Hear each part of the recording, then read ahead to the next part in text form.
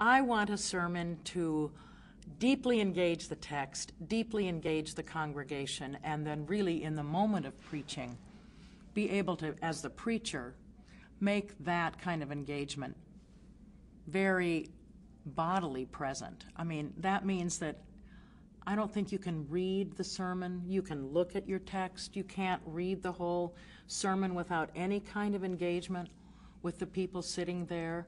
Uh, all kinds of studies now, of course, have been done about what influences what people hear. I mean, it's a huge percentage. It's something like 75% is what they see.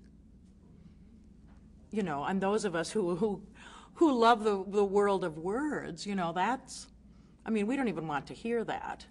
But I think the truth of it is, is that if a woman is preaching and she does this for the whole sermon, it can be a fabulous text. And what will people remember? She needs to get a haircut. I mean, they things like that get distracting. Or if someone uh, looks always to one side, I mean, whatever it is. Um, I mean, in a sense, that has nothing to do with biblical preaching, except if you want the Bible to come alive, you don't want something to get in the way of that.